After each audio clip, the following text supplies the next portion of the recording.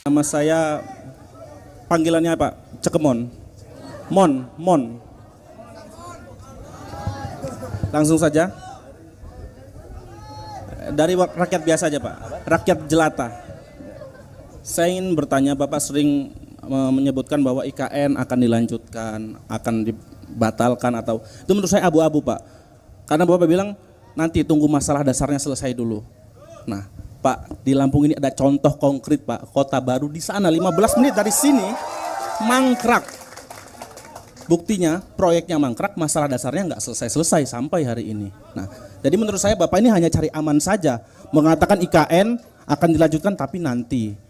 Kalau menurut saya tegas saja Pak, mau lanjut-lanjut enggak enggak. Alasannya bahwa udah diundang-undangkan harus dilanjutkan. Tapi kapan? Masalahnya kita nanti pasti ada masalah lagi, ada masalah lagi. Masalah dasar di Indonesia pasti selalu ada. Jadi IKN itu kira-kira bakal dilanjutkan atau tidak, Pak? Nah, yang kedua, Pak. Kita tahu semua paslon, semua paslon ingin menang satu putaran. Tapi apabila Pak Anies nanti gagal lanjut ke putaran kedua atau kalah langsung di putaran pertama, kira-kira bakal mendukung ke sa- 02 atau 03 atau malah oposisi saja? Kira-kira aja Pak, pendapat pribadi. Kalau partai kita nggak nggak nggak tahu ya. Ya, ya itu saja. Terima kasih.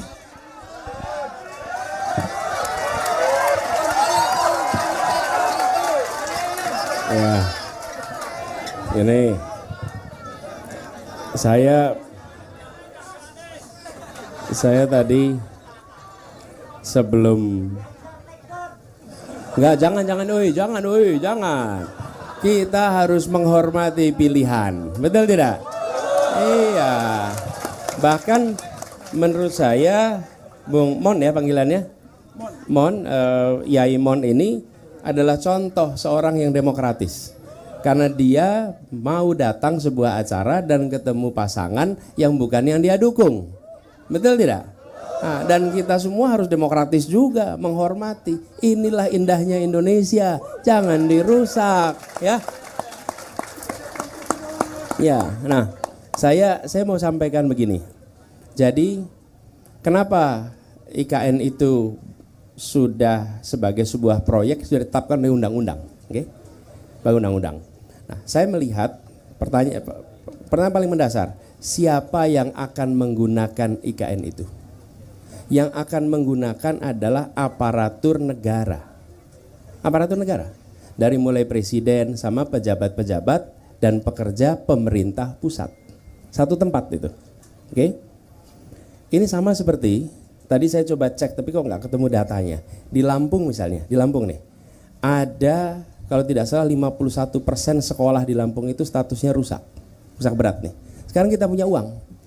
Uang ini mau kita pakai untuk apa? Memperbaiki sekolah 51% yang rusak, rusak berat nih.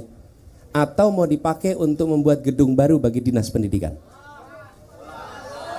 Begitu. Jadi bukan soal urusan dasar kita akan selesai. Tapi kalau ini bukan urusan dasar, ini problem. Problemnya apa? Sekolah rusak. Sekolah rusak tidak ada anggarannya.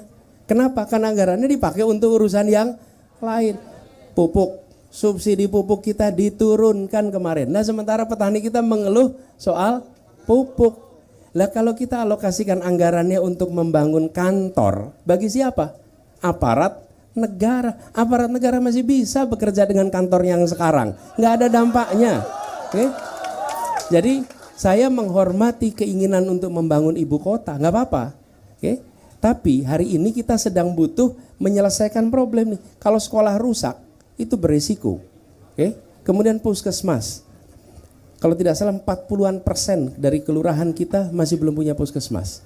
Ya kita mau bangun mana? Mau bangun kementerian kesehatan yang bagus di Nusantara atau mau bangun puskesmas di seluruh Indonesia?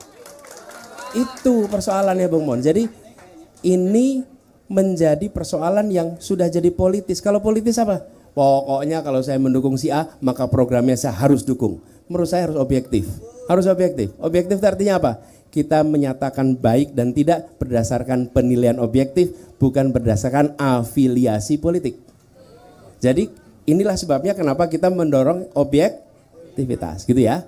Dan yang kedua, kedua tadi soal Oh, oh saya tidak pernah berencana untuk menang satu putaran.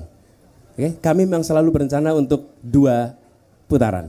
Dan insya Allah kita masuk ke putaran kedua.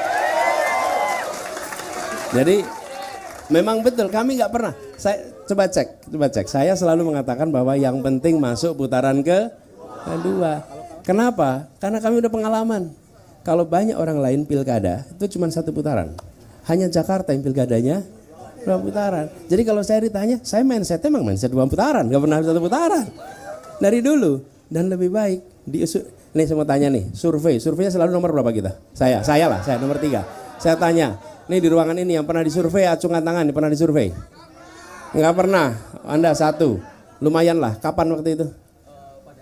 Agustus, sekali satu orang di sini yang pernah disurvei. Alhamdulillah untung ada yang disurvei satu orang nih. Eh? Kami selalu disurvei nomor tiga. Dulu Jakarta juga begitu.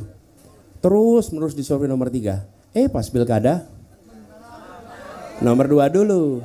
Nomor dua dulu. Yang penting nomor dua dulu. Habis itu baru satu. Gitulah kira-kira. Insya Allah menang. Oke. Kasih. Kita beri tepuk tangan untuk Yai Mon ini. Makasih.